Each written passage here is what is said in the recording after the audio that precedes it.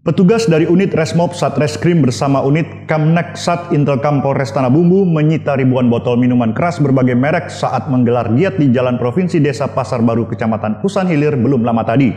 Miras tersebut diduga akan diedarkan di Tanah Bumbu, Kota Baru, hingga Kabupaten Pasir, Kalimantan Timur. Ribuan miras berbagai merek ini disita petugas saat digelarnya giat di Jalan Provinsi Desa Pasar Baru, Kecamatan Kusan Hilir, Kabupaten Tanah Bumbu belum lama tadi.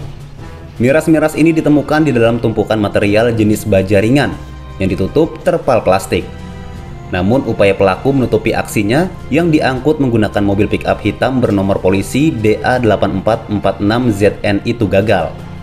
Ribuan botol minuman keras berbagai merek ini saat ditemukan tanpa dilengkapi izin edar yang sah.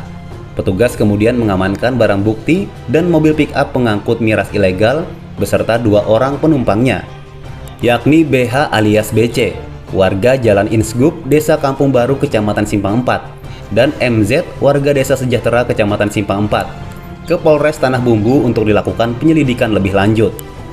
Hasil pemeriksaan penyidikan BH alias BC merupakan pemilik mobil pick-up pengangkut ribuan botol miras. Sedangkan ribuan botol miras tersebut merupakan milik BH alias BC dan MZ. Dari keterangan keduanya ribuan botol miras berbagai merek tersebut didapatkan dari Banjarmasin dan akan dibawa ke Kabupaten Tanah Bumbu serta diedarkan hingga ke Kabupaten Kota Baru dan Kabupaten Pasir Provinsi Kalimantan Timur.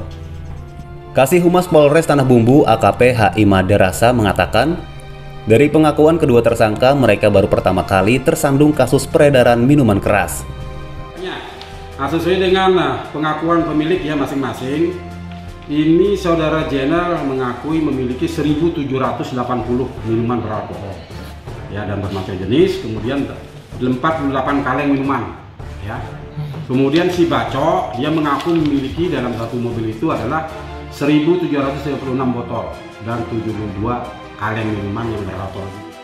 Ditambahkannya, kedua tersangka terancam dijerat peraturan daerah Kabupaten Tanah Bumbu Pasal 2 Junto Pasal 5 Nomor 27 Tahun 2005 tentang larangan peredaran minuman keras dengan ancaman hukuman 6 bulan kurungan penjara atau denda maksimal 50 miliar rupiah.